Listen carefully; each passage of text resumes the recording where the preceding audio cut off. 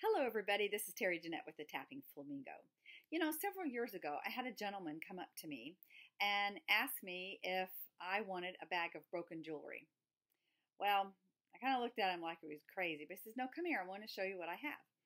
So he showed me this big, giant bag. I mean, it was huge, full of broken jewelry. And when I first started going through it, I thought, I don't know what I could do with this, but there were lots of loose beads and just interesting things. And so I thought, you know, I'll, I'll take it. I'll see what I can do with it. I got home, I sorted it out, and uh, a lot of the pieces just needed to be fixed, like maybe a jump ring was missing or something like that. So I fixed it, and then I donated it to the senior center for. Um, they have bingo, and they needed different prizes and stuff for their their winners. So I was able to donate some of the pieces there. But I kind of got tired of it, bagged it up, put it away. And today, as I was going through some stuff, I came across it. So I was going hmm. back through it, and I thought, you know what? I'm going to challenge myself to take some of this old, broken jewelry junk and try to make something really nice out of it.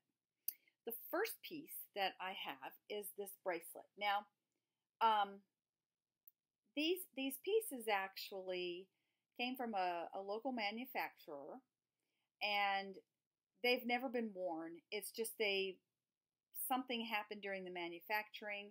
This particular one, as you can see, this is coming off. Uh, the rhinestones are missing. I mean, it was probably, it would have been a really pretty bracelet. It's got uh, turquoise and gold rhinestones and all.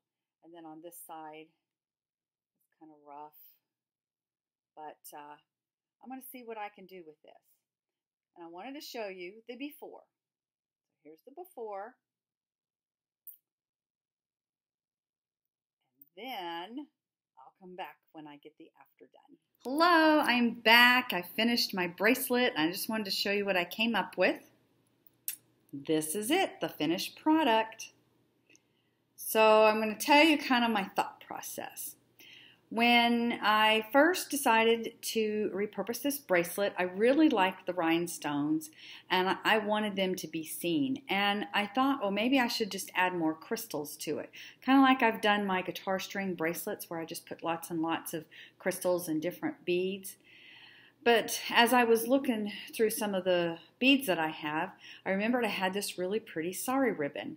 And um, it has um, little flecks of brass in it and this bracelet being on the brass side and I was using brass wire I thought would be perfect. It also has little rhinestones throughout the uh, sari ribbon also. Uh, I will put a picture uh, of the uh, materials that I used to make this but I just kind of wanted to show you what I came up with. There's a little peekaboo of the original rhinestones that were on there and I did not add any more beads, just recycled sari ribbon and brass wire. And that's it. And I just kept this as it was. I liked the texture on it.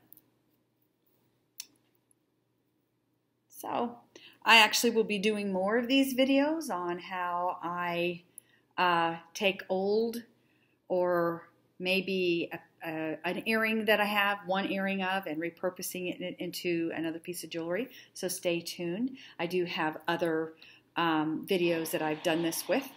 Uh, but anyway, I hope you uh, subscribe to my channel and give me a thumbs up. And most of all, y'all have a wonderful day.